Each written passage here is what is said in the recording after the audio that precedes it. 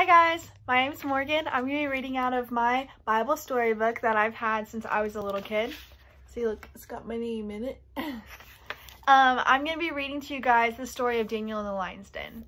So uh, it says, a few years after the three men survived the fiery furnace, you guys remember that story? It was Shadrach, Meshach, and Abednego?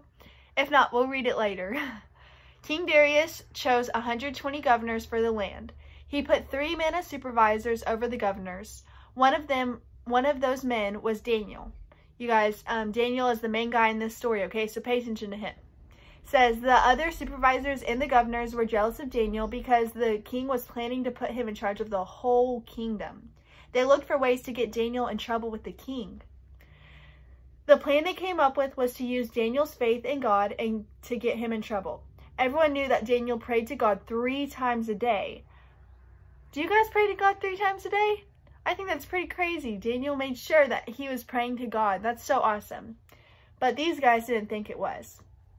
It says, um, his enemies talked to the king and um, told him to make a law that people could pray only to him. Punishment for breaking the law was to be thrown into a den of hungry lions. Look, here you can see that these are the two bad guys and they're talking the king into writing this new law. Says Daniel heard about the law. It was announced throughout the kingdom, but he didn't pay any attention to it. He kneeled beside his window and prayed, just as he did every day. That's exactly what his enemies were waiting to see. They ran to the king and insisted that Daniel be arrested. King Darius knew he had been tricked, but he couldn't do anything about it. He tried to find some way around the law, but it couldn't be changed. So he had to let Daniel be put into a pit full of hungry lions. But he told him, May your God save you. And look, here you can see there's Daniel in the den with all the lions.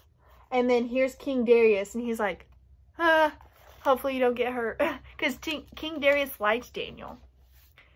Says, the king was so worried about Daniel that he didn't sleep all night. Early the next morning, he hurried to the lion's den. And Daniel said to him, My God protected me. He kept the lions' mouths closed so they couldn't hurt me. The king was so happy that he issued a new law ordering everyone in the kingdom to respect and fear Daniel's God. So this is the next picture. It's Daniel in the lion's den and the lions are sleeping and their mouths are sealed shut. They didn't open the whole night.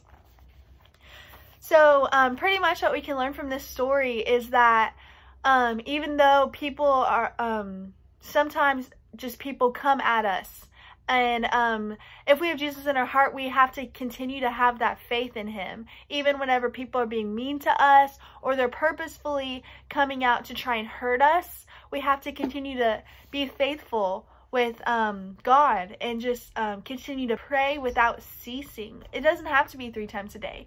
Um, if you guys are just like really happy about something, pray to God and tell him about it. That's what he wants to hear from you guys. So I hope that um, throughout this, even though you guys are having to stay home, that um, you guys can continue to have faith in God.